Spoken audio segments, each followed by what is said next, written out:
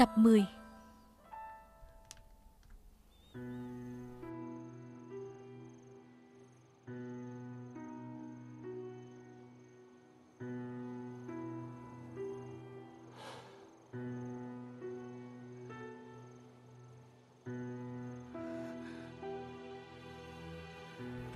Lai Phúc. Lai Phúc vẫn đang đợi tôi. Tôi phải đi tìm anh ấy. Bây giờ tôi phải đi tìm anh ấy ngay. Vĩnh Ân Vĩnh Ân à. Vĩnh Ân Vĩnh Ân à.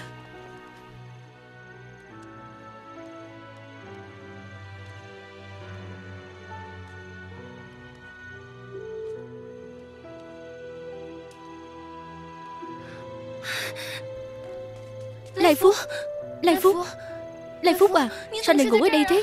Tỉnh lại đi. Cô tìm tôi hay sao? Tôi không tìm anh Tôi đợi lâu lắm rồi. Tôi nhầm người rồi Anh buông tôi ra. Tới đây nào Buông tôi ra. Vĩnh Ân à Không sao rồi. Em đừng thế này nữa. Không sao. Em đừng như vậy nữa mà. Nếu mà em còn tiếp tục thế này Em sẽ xảy ra chuyện trước khi tìm được Lai Phúc đó.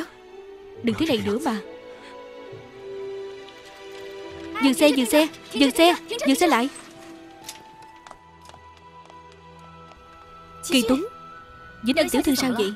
Không phải hôm nay cô ấy kết hôn hay sao? Có chuyện gì nói sao đi được không? Kỳ Tuấn à Hôm nay Vĩnh Ân tiểu thư kết hôn Anh làm thế này không ổn lắm thì phải.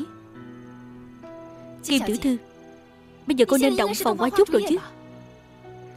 Cô không ở phòng tân hôn Mà lại nằm trong lòng người đàn ông khác. Không sợ người ta nói ra nói dạo hay sao? Hôn lễ xảy ra vấn đề rồi. Lai Phúc mất tích. Anh đã giúp cô ấy tìm Lai Phúc Lai Phúc. Mất tích rồi sao Vĩnh Ân đã khó chịu lắm. Em đừng có quậy nữa được không? Lai Phúc mất tích rồi. Tôi phải đi tìm anh ấy. Tôi phải đi tìm Lai Phúc. Tôi phải đi tìm Lai Phúc. Tôi đi với em. Không cần đâu. Anh đã giúp tôi nhiều lắm rồi. Tôi tự đi được. Vĩnh Ân. Vĩnh Ân à Kỳ Tuấn. Cô ấy đã kết hôn rồi Người đợi cô ấy là người chồng mất tích kia Không phải là anh. Không phải anh mà.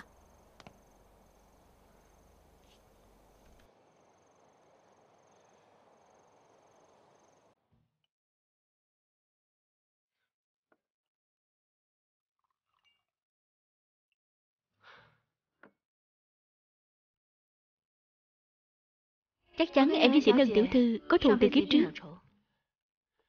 Sao lại nói thế? Nếu không thì tại sao Trong thế giới tình cảm của em Dù cô ấy sống hay chết Cũng đều lằng nhằng với em thế.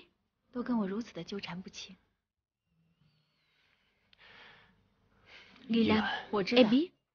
Em sẽ không từ bỏ đâu. Lúc trước Em nghĩ cô ấy đã chết. Mà em không bao giờ có thể vượt qua được một người đã chết Nhưng mà hôm nay biết chuyện cô ấy vẫn còn sống Em rất vui. Anh có biết tại sao không? Bởi vì chỉ cần cô ấy còn sống Thì giữa bọn em chắc chắn sẽ có thắng có thua. Chúng ta có tình cảm nhiều năm như vậy Em chắc chắn sẽ phải thắng. Cho nên Kiểu gì em cũng sẽ đấu tranh. Nghi Lam Em biết là muốn nói gì với em? Thật ra có những lúc Em cũng rất hận em nhưng mà em cũng không muốn gì nhiều. Em chỉ muốn một chốn về bình yên Mà các cô gái bình thường đều muốn. Thật sự rất xin lỗi. Anh không cần xin lỗi em. Bởi vì đây là lựa chọn của em mà. Ai bảo em đi yêu một người đàn ông Không yêu em?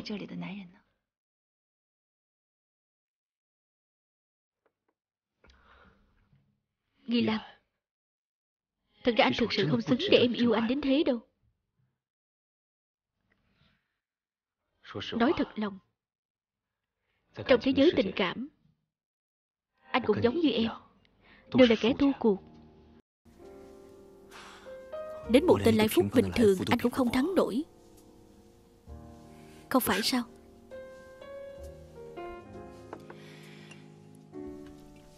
Trong quan hệ tình cảm như thế này Rồi sẽ có một ngày Anh bị dày dò đến mức Thấy cả thế giới tối tăm.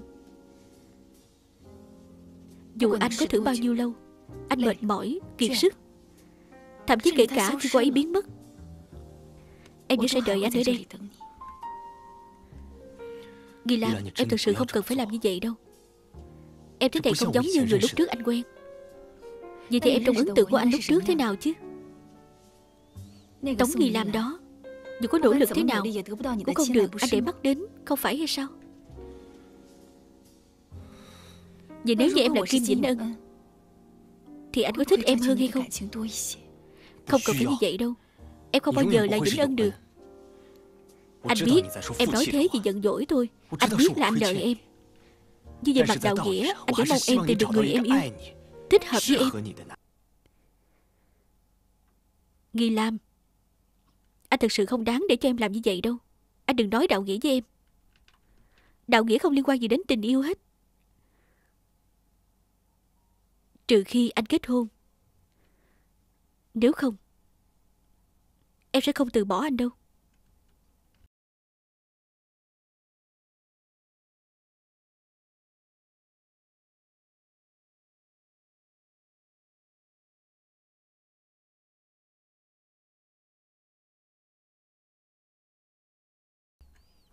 Ông chủ. Ông chủ à? Tìm được chưa? Không chỉ Không chỉ lại Phúc mặc dù âm tính Đến cả Vĩnh Ân cũng không biết đi đâu nữa. Chú Hải à Có tìm được không chú? Không có.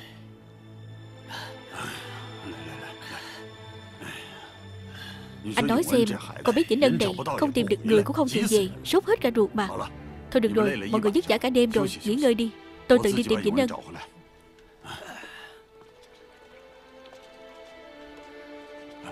Vĩnh Ân. Lai Phúc về chưa? Chưa về. Lai Phúc sẽ không về nữa đâu. Không đâu. Lai Phúc nhất định sẽ về. Cháu đi tìm tiếp. Vĩnh Ân à Cháu vẫn không hiểu hay sao? Tìm nữa cũng vô dụng thôi. Lai Phúc sẽ không về nữa đâu. Tại sao bác lại chắc chắn như vậy chứ? Rốt cuộc đã xảy ra chuyện gì rồi? Nếu cậu ta thật lòng muốn kết hôn Thì sẽ không về chắc Không phải như vậy hay sao? Không phải đâu. Lai Phúc đã hứa với cháu rồi mà. Anh ấy sẽ không lừa cháu đâu. Cháu đi tìm thêm xem. Vĩnh Ân Người đâu?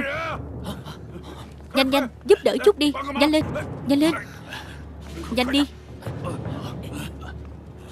Từ từ thôi. Lão gia Đây là sổ sách của bên bến tàu Tình hình phía bên bến tàu đỡ hơn chưa? Dạo trước Khi vị thiếu gia Đại thiếu gia mất tích. Tất cả như rắn mất đầu Cho nên có chút hỗn loạn. Nhưng mà gần đây vị thiếu gia ra mặt Tình hình đỡ hơn nhiều rồi. Vậy còn các cửa hàng Tây Bách Quá thì sao? Tình hình cũng tương tự như vậy thôi. Vị lão gia dặn dò. Vị thiếu gia Đang cố gắng làm Nói vậy thì Đình lượng cũng có biểu hiện tốt đấy nhỉ?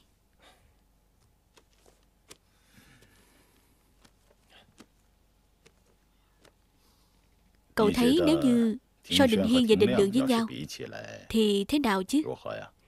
Tôi thấy đại thiếu gia và nhị thiếu gia Mà tiểu nhân đâu có tư cách đánh giá. Đi đi. Dân à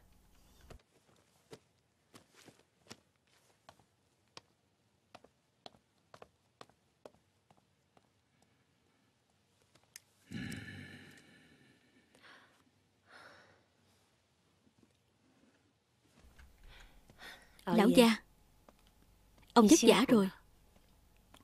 Thực ra Phạm Đức Quý không nói Thì tôi cũng có suy nghĩ của mình. Gần đây hiệu quả kinh doanh Không được như trước nữa. Trên thương trường Đình lượng vẫn có vẻ quá non. Vẫn là Đình Huyên thông minh hơn. Đình Hiên mất tích lâu như vậy rồi Dù Đình lượng có thế nào? Cũng không thể nào theo kịp Đình Hiên được. Ông cũng vẫn phải nghĩ hơn chứ hơn nữa định lượng cũng là người thừa kế duy nhất của đường gia Có phải ông nên cân nhắc việc giao lại vị trí cho con đi không Đúng Tôi vẫn phải cẩn thận hơn Mấy chuyện này tôi tự có tính toán Bạn không cần phải lo lắng đâu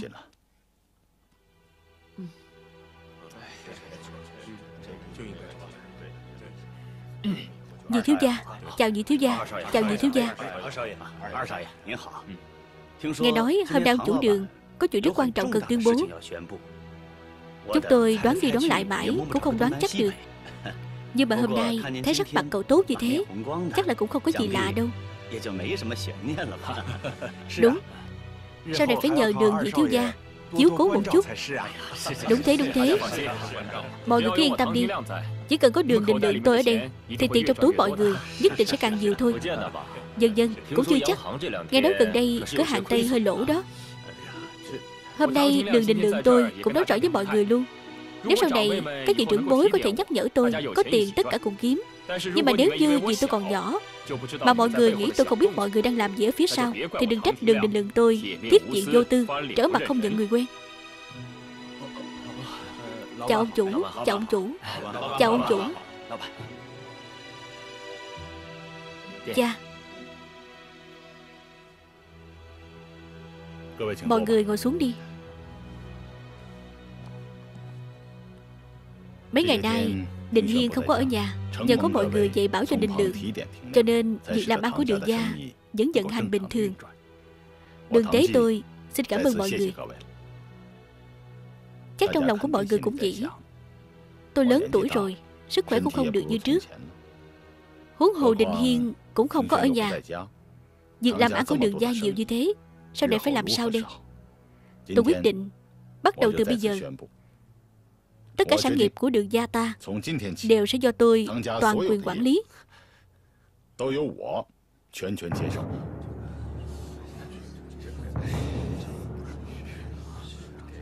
Mọi người đã làm việc cho đường gia tôi từ lâu lắm rồi. Tôi đã lớn tuổi. Có chỗ nào tôi nghĩ chưa chu toàn Thì mong mọi người nhắc nhở nhiều hơn. Cha Cha vất vả như thế. Không để con chia sẻ bớt cho. Thì các chú bác ở đây sẽ nói con bất hiếu đó. Con học hành cho tử tế đi. Con thực sự muốn chia sẻ gánh nặng với ta Thì làm gì có tâm vào? Sao lại thế được? Mình tận mắt nhìn thấy đường định hiên chết trước mặt của mình mà. Chính mình đã giết anh ta. Không thể là anh ta giở trò gì được. Thế tại sao Tại sao cha vẫn chưa giao hết sản nghiệp cho mình Chẳng lẽ là mình làm chưa đủ sao? Phạm Đức Quý. Nhị thứ gia Chuyện mảnh đất kia phải cẩn trương lên. Gây áp lực cho Kim Ngọc bắn đường đi. Tôi không tin là họ lấy trứng chọi đá được mãi. Dạ tôi hiểu rồi. Đi đi.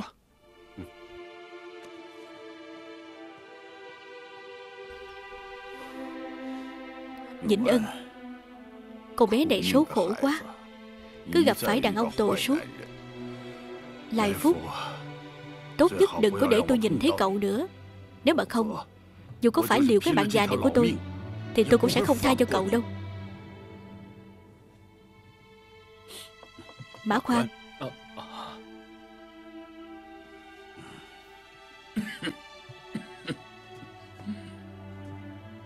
Tìm tôi có chuyện gì? Bác. Bác Toàn à. Tôi, tôi muốn nghỉ việc. Nghỉ việc sao Tại sao vậy? Tôi, tôi muốn Muốn ra ngoài học hỏi thêm Quan sát thêm Học nghề ở những nơi khác nữa. Cậu ra ngoài học tập Thì tôi Không có lý do gì để cản trở cậu hết. Nhưng mà Kim Ngọc Mãn Đường Đang vào lúc rất khó khăn. Cậu có thể ở lại đây thêm một thời gian nữa hay không? Tôi Tôi, tôi nhận lời của người ta rồi. Cậu có lòng đi chỗ khác. Tôi cố giữ cũng không được gì. đâu. Thôi được rồi. Cậu đi đi Cảm ơn bác Toàn. Cảm ơn bác Toàn đã tạo điều kiện. Cảm ơn bác Toàn đã dạy dỗ tôi mấy năm qua. Cảm ơn. Vậy tôi đi nha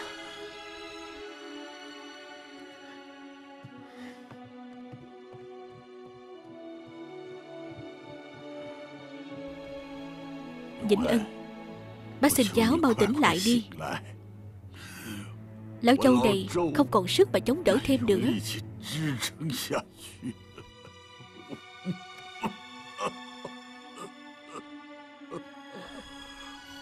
Lai Phúc Lai Phúc Lai Phúc Lai Phúc, Vĩnh Ân, Lai Phúc, Vĩnh Ân. Ban Toàn, Cháu đã hôn mê ba ngày ba đêm rồi. Nào. Cháu đang nằm mơ. Cháu vừa thấy Cháu sắp kết hôn với Lai Phúc. Nhưng mà Lai Phúc biến mất. Lai Phúc đâu? Lai Phúc đâu rồi? Vĩnh Ân. Đừng tự lừa mình dối người nữa. Chuyện này đã thành sự thật rồi. Không đâu. Cháu không tin. Đây chỉ là giấc mơ thôi mà Vĩnh Ân Đừng khóc. Đừng khóc nữa mà Loại đàn ông này Không xứng để cho cháu rơi nước mắt đâu. Bác Toàn Đừng khóc.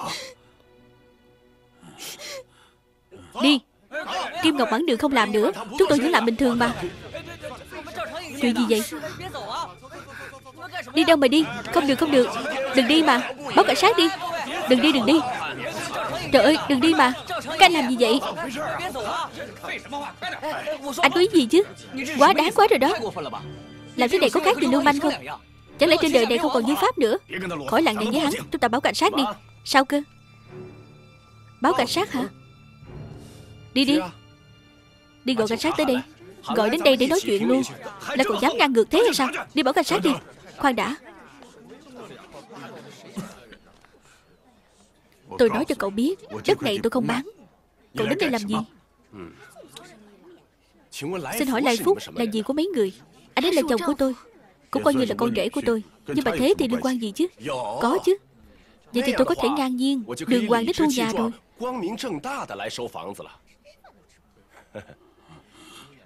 Có một người tên là Lai Phúc, Đến ngân hiệu đường gia. Đưa giấy tờ nhà đất ở đây vào bán. Còn lấy tiền bồi thường rồi. Không thể nào. Tuyệt đối là không thể như vậy được. Đây chính là hợp đồng nhà đất Và giấy xác nhận đã nhận bồi thường.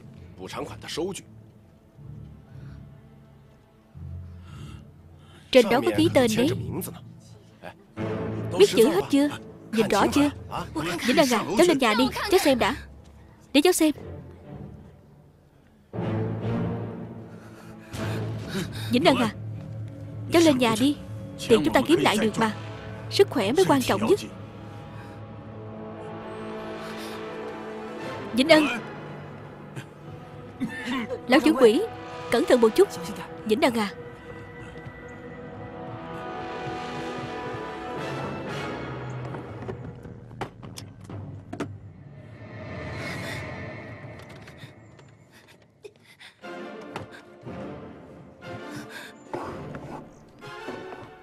Vĩnh Ân. Không cần tìm nữa. Bác Toàn à Bác cất chỗ khác rồi hay sao? Không. Chỗ bác để châu báu. Ngoài cháu Chỉ còn Lai Phúc biết thôi. Bây giờ cháu hiểu Tại sao cậu ta đột nhiên biến mất rồi chứ không thể nào. Không thể nào. Không thể nào đâu. Vĩnh Ân à Thôi, Chúng ta quên hắn đi. Tên Lai Phúc chết tiệt này, Đúng là chẳng ra làm sao hết. Uổng công bắt toàn tốt bụng cho hắn ở lại. Hắn không những không biết ơn, Mà còn lừa gạt tình cảm của Vĩnh Ân tiểu thư. Lại còn trộm đồ bỏ chạy. Đúng là cái loại không bằng cầm thú, Trong ân phụ nghĩa. Đáng thương nhất. Vẫn là bác Toàn. Tiền tích góp cả đời Bây giờ không còn gì hết. Thôi được rồi được rồi. Đừng nói nữa.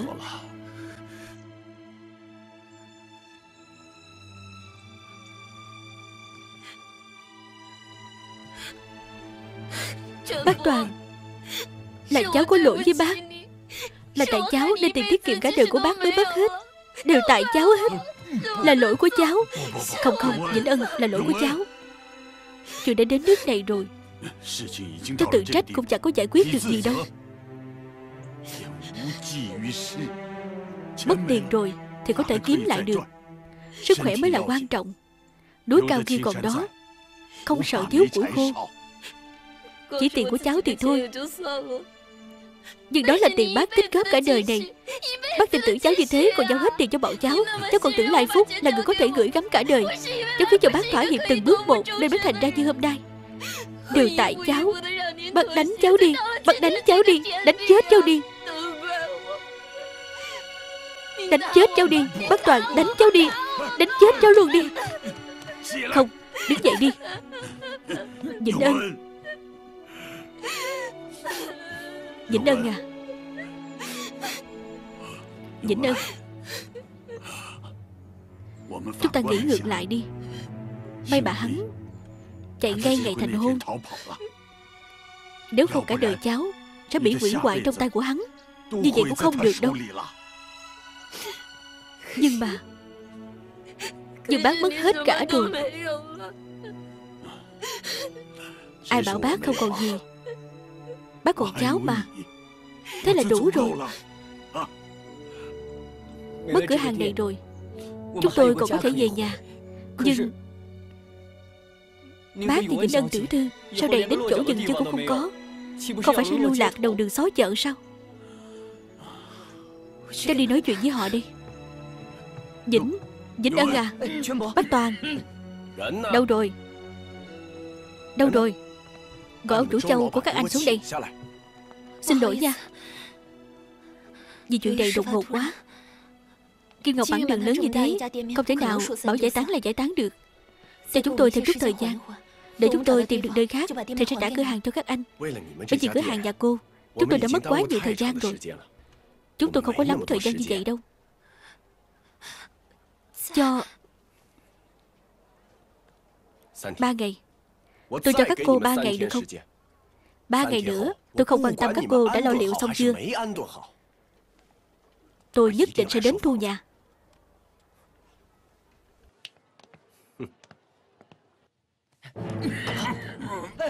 Ông chủ Ông chủ à? Ông chủ?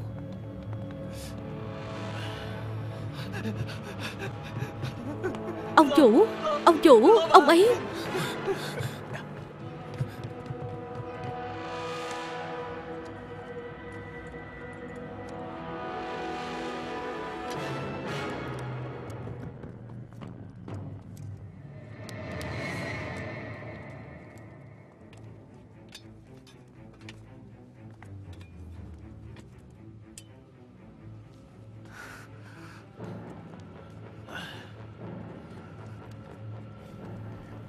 Đại Phúc đúng là chẳng phải con người. Hại một người đến mức này, Sau này nhất định hắn sẽ rơi xuống 18 tầng địa ngục. Hắn lấy tiền rồi chạy Và chúng ta còn sốt hết cả ruột Chạy khắp nơi để tìm. Đúng là biết người biết mặt, không biết lòng mà. Tình khốn Đại Phúc này.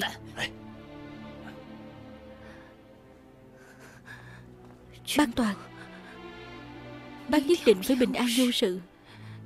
Nhất định phải bình an vô sự đó.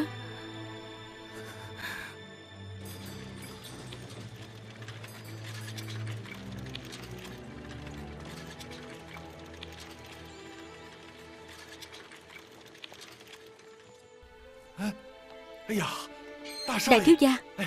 Đại thiếu gia Cuối cùng cậu cũng về rồi. Tốt quá rồi. Vào đi. Phu nhân Phu nhân. Lão gia. Đại thiếu gia về rồi. Lão gia. Đại thiếu gia về rồi. Đại thiếu gia về rồi. Đại thiếu gia về rồi. Đại thiếu gia về rồi. Đại thiếu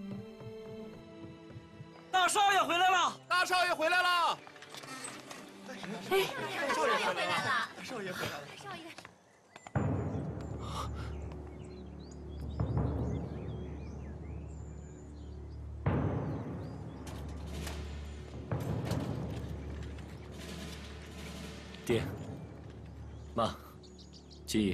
Vậy là tốt rồi.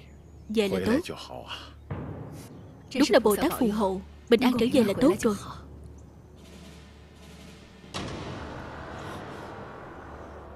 Con lại làm mọi người lo lắng. Thật sự rất xin lỗi mọi người. Con tự dưng mất tích hơn 3 tháng Con phải giải thích cho mọi người biết chứ. Đúng. Bởi vì con đột nhiên mất tích cho nên lão gia phải căn dặn cả nhà giữ miệng Nói con đi nước ngoài. Nếu không sẽ ảnh hưởng đến sự nghiệp của đường gia. Vậy thì tốt. Nếu đã thế thì cứ coi như con ra nước ngoài đi. Nếu không sao thì về là tốt. Trong thời gian con không có ở nhà Sự nghiệp của đường gia Xem ra thực sự không thể không có con. Bây giờ con về rồi Ta có thể yên tâm giao cho con. Đúng thế. Chỉ cần con bình an trở về là tốt. Những ngày con không có ở nhà Ngày nào mẹ cũng thắp hương cầu Phật. Mẹ nghĩ nhất định là Bồ Tát nghe thấy tiếng của mẹ nói. Con cảm ơn. Em trai. Thời gian anh không có ở nhà. Dứt giả cho em. Anh à Đây là chuyện em nên làm thôi. Anh cả Lâu lắm rồi anh không chơi với em. Anh ra giường qua chơi với em đi. Được thôi Không được đâu Như Giao. Anh cả vừa về nhà Nhất định là mệt rồi. Đình Hiên à Vì thấy sắc mặt của con cũng không tốt lắm. Con về phòng nghỉ ngơi trước đi. Lát nữa thì bảo người làm Nấu đồ bổ rồi gọi con sao? Vậy con về phòng trước đi. Nào Ngoan nha.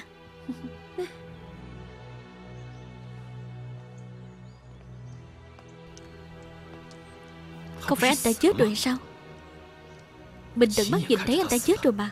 Rốt cuộc là chuyện thế nào đi? Chẳng lẽ anh ta là cáo chính mạng hay sao? Ánh mắt anh ta nhìn mình kỳ lạ quá. Rốt cuộc anh ta có biết là do mình làm hay không vậy?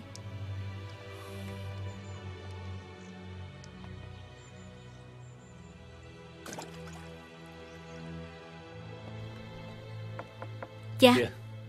Đình Hiên. Nào nào nào. Bao bao ngồi xuống đi Vết thương sao rồi? Dạ ổn rồi. Con bất hiếu Làm cha lo lắng rồi. Rốt cuộc là chuyện thế nào chứ? Tối hôm đó con vừa ra khỏi ngân hiệu Thì bị mấy người tới ám toán. May mà có người cứu con ra. Sau khi con tỉnh lại Họ nói con mới biết Thì ra con đã hôn mê lâu lắm rồi. Con tỉnh lại rồi mà sao không về nhà? Lúc đó con bị thương rất nặng Đi lại không tiện Hơn nữa nhà đó sống rất xa chỗ chúng ta. Họ cũng không có xe Cho nên cách duy nhất là con phải chờ mình khỏe lại đã, Rồi lập tức chạy về. Ai có thù hận sâu sắc đến như vậy với con chứ? Đây cũng là nguyên nhân quan trọng Khiến cho con mãi không về nhà được. Nhưng mà con đã cho người âm thầm điều tra rồi. Có manh mối chưa? Có một chút manh mối, Nhưng mà không có chứng cứ, Cho nên không thể qua loa được. Chuyện này rất hệ trọng. Có cần phải giúp gì hay không? Dạ không. Cha vốn đã có thể về hưu lâu rồi. Làm cha phải lo lắng về những chuyện này nữa. Con thấy rất ngại. Cha Xin cha đừng lo lắng về chuyện này. Cứ để cho con tự xử lý. Đình Hiên Con làm việc Trước giờ ta đều rất yên tâm. Cho nên sau này Có gặp chuyện gì thì nhất định phải cẩn thận đó. Dạ con biết rồi.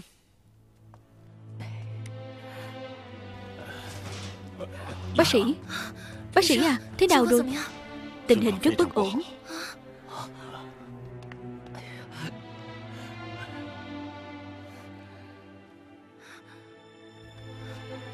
Thiếu gia Cậu không biết đấy chứ? Tôi sốt hết cả ruột.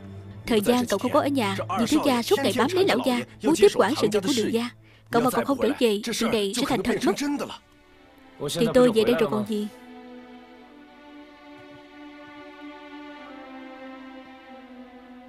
Tôi cứ thấy chuyện này có gì đó rất kỳ lạ。Cậu nói xem Rốt cuộc cậu đã gặp chuyện gì？Sao đột nhiên lại mất tích như vậy chứ？Còn nữa Trong thời gian cậu mất tích。Rốt cuộc cậu đã đi đâu？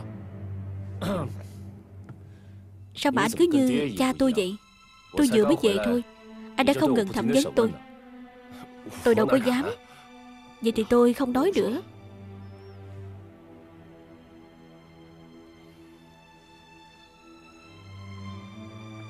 Thời gian tôi không có ở đây. Có xảy ra chuyện gì kỳ lạ hay không? Kỳ lạ sao? Không.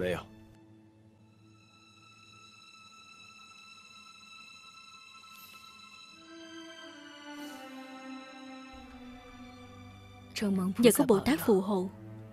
Đình Hiên đã bình an trở về. Bồ Tát và cha mẹ đều chỉ quan tâm đến anh cả thôi. Rốt cuộc con là gì chứ vốn là cha đã đồng ý giao sản nghiệp cho con. Nhưng mà cha không giao Đòi tự làm thì thôi. Đường Đình Hiên quay trở lại. Cha lại giao hết cho đường Đình Hiên. Cha quá đáng quá rồi đó. Đình Hiên là anh cả của con. Dù có thế nào đi nữa Con cũng nên biết đạo lý anh em như thể tay chân chứ. Lần này anh cả của con có thể bình an trở về. Là mẹ giúp con ngày đêm tụng kinh xá tội Trước mặt của Bồ Tát Bồ Tát thương. Cho nên mới về được. Con không thể ở đó mà quán trách được nữa đâu. Con nên cảm ơn ông trời Đã cho con thêm một cơ hội. Con phải biết Con người không thể chống lại ông trời được. Đủ rồi. Mẹ Mẹ đừng nói với con nữa. Con đã đủ khó chịu rồi. Bây giờ con chẳng muốn nghe gì hết.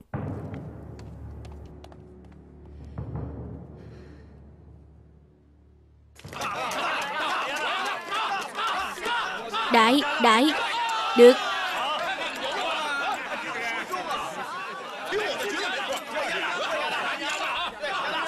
Tôi cũng cực đại. Quyết rồi thì bỏ tay ra Quyết rồi thì bỏ tay ra. Mở.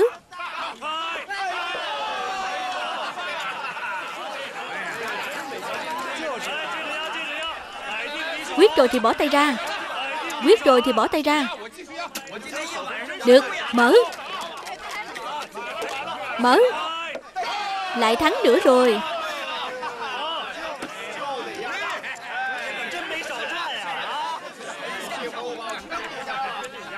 Cho tôi thêm một ít sèn đi. Ghi nợ Vì thiếu gia, xin lỗi nha. Để thiếu gia dặn, Không có tiền thì tuyệt đối không thể đưa sèn Qua đây. Mở to mắt chó ra mà nhìn cho rõ tôi là ai. Sao vậy? Sợ tôi đợi tiền anh không trả hay sao? Bảo lấy thì lấy đi, Lăng nhăng gì chứ? Chuyện gì thế? Vì thiếu gia muốn ghi nợ lấy sèn Định lượng, Đây là lệnh của anh đó. Anh sợ có người buồn nợ, Cho nên nhất định phải lấy tiền trước. Em cần sèn hay sao? Đưa nó đi. Không chơi nữa. Không sao đâu.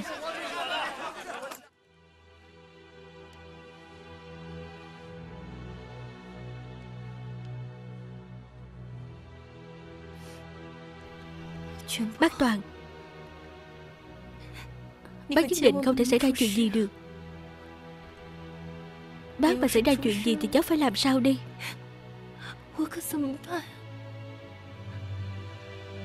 Bác Toàn à Bác phải mau tỉnh lại đi. Bác phải mau tỉnh lại.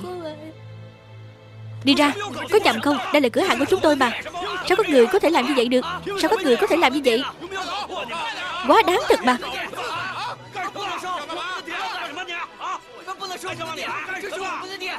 Dừng tay. Làm gì vậy? Các người làm gì? Bọn họ đến thu nhà chúng ta đó. Đừng có bắt nạt người quá đáng nha. Tôi cho các cô ba ngày rồi. Bây giờ đến hạn rồi. Nếu các cô không chịu uống rượu mời Thì phải cho uống rượu phạt mà thôi. Chủ nhà của tôi còn đang ở trong đó. Các anh dựa vào cái gì mà đuổi người. Tránh ra cho tôi. Tránh ra. Tránh ra cho tôi. Tránh ra. Tránh ra đi. Dừng tay. Bao nhiêu người thế này đi bắt nạt một cô gái? Đàn ông kiểu gì vậy? Anh là ai chứ? Dựa vào cái gì mà can thiệp vào đây Tôi không phải là kẻ tài giỏi gì. Chỉ trùng hợp là Người gác cửa nhà cửa phòng nhà tôi Đều mặc quân trang hết. Người anh em này, Tôi cảnh cáo anh. Anh mà còn tiếp tục làm ầm lên, Thì e là Chuyện nhỏ sẽ biến thành chuyện lớn ngay đấy. Chúng tôi cũng chỉ là làm theo lệnh thôi. Mà hơn nữa, Cô ta nhận tiền của chúng tôi rồi mà không chịu đi. Tôi đang muốn hỏi anh, Chuyện này là thế nào đây? Người anh em Xưng hô với anh thế nào đây? Ông chủ anh là ai? Tại sao có nhất định phải ép bán bằng được mảnh đất này? Khẩu khí hoành tráng ghê. Tôi cũng đang muốn hỏi anh Ông chủ của anh là ai đấy? Hỗn láo. Có biết anh nói chuyện với ai hay không? Anh ấy là công tử nhà thẩm đốc quân Thẩm tham mưu trưởng đi. Ông chủ tôi là họ đường. Cậu ấy là đại công tử của đường tế. Phú hộ nổi tiếng ở đây đấy Cậu ấy muốn xây một công viên vui chơi ở đây Thì ra là đường Đình Hiên.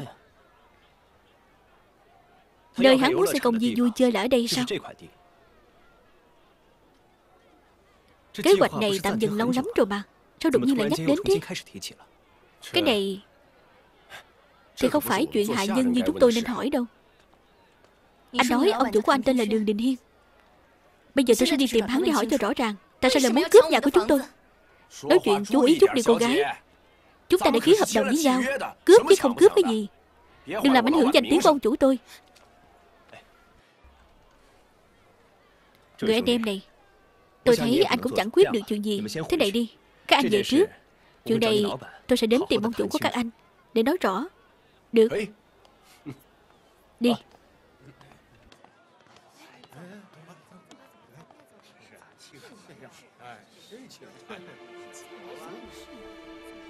Cảm ơn.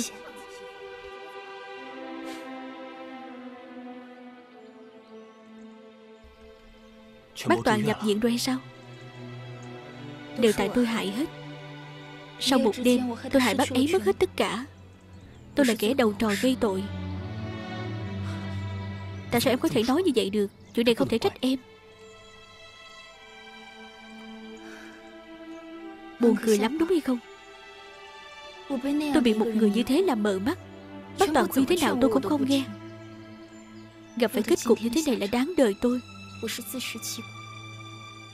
Tại sao tôi lại cười em chứ? Tôi có tư cách gì mà cười? Tất cả những chuyện này là lỗi của tôi. Lúc đầu nếu không phải tôi kiên quyết Muốn quỷ hôn ước với em Thì có lẽ bây giờ Chúng ta đang chung sống hạnh phúc bên nhau. Là tôi đã hủy hoại tất cả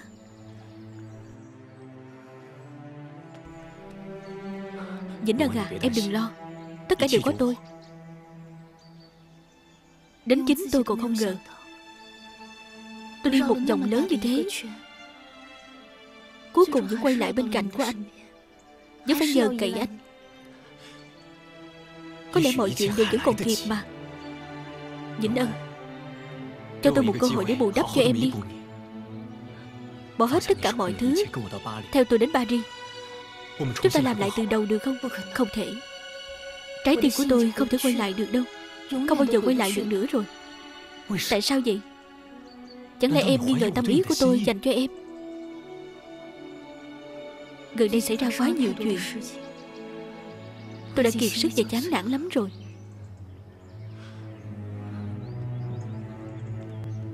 Vậy thì để tôi giúp cho em. Chỉ cần em chịu mở lòng ra Tôi có thể giúp cho em vượt qua chuyện này.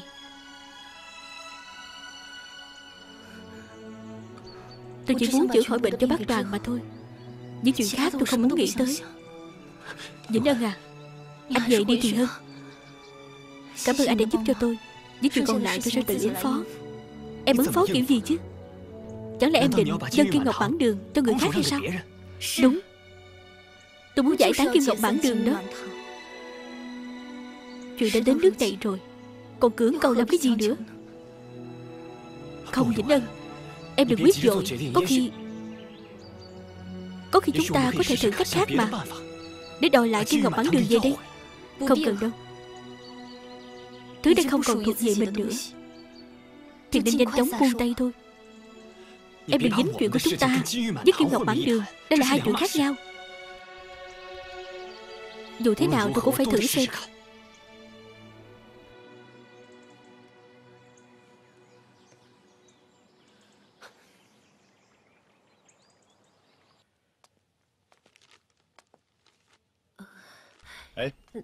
Út cầm Có gì vào đây rồi nói. Nào ngồi đi. Tôi thấy ông đang bận Cho nên không vào quấy rầy ông. Không có gì đâu Có chuyện gì bà nói đi. Lúc trước Tôi vẫn luôn muốn đón Vĩnh Ân về chăm sóc. Bây giờ tôi nghĩ ra cách rồi. Cách gì chứ Chuyện này còn phải hỏi xem Định Hiên có đồng ý hay không. Tôi ra mặt thì không hay. Tôi sợ vượt quyền đứng ra quyết định. Thì chị cả và Định Hiên sẽ không vui. Được rồi, được rồi. Tôi hiểu yếu của bà. Tôi sẽ nghĩ cách.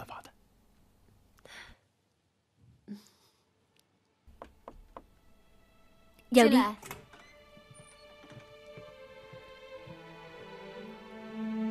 Tiểu thư à Có người tặng qua cho cô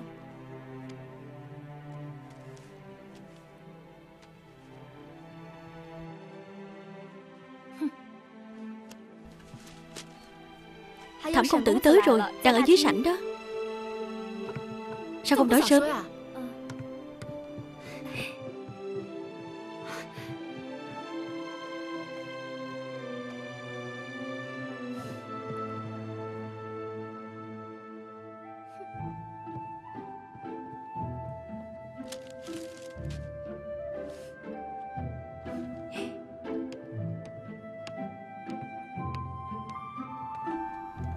Hôm nay tham mưu trưởng rảnh thế Không bận gì hay sao? Anh đến thăm em thôi. Qua này đẹp quá. Đẹp thì được gì? Không ai thương thì đỡ được mấy ngày. Bạn đi cắm đi.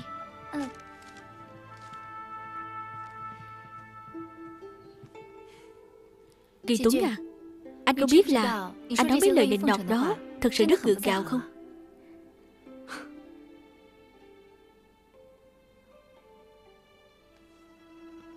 Sao lại nhìn em như thế? Có phải anh gặp khó khăn gì ở chỗ Vĩnh Ân Cho nên đến chỗ của em Tìm lại tự tin không? Nghi Lam Anh muốn hỏi em Em có biết đường Đình Hiên đang muốn mua một mảnh đất Để xây công ty vui chơi lớn hay không Đương nhiên là em biết rồi. Lúc trước anh ta đòi theo đuổi em suốt Đây là lời hứa của anh ta. Muốn xây cho em công ty vui chơi lớn nhất Trung Quốc. Sao tự dưng anh lại nhắc đến đường Đình Hiên Anh muốn gặp anh ta? Có thể làm phiền em hẹn gặp giúp anh hay không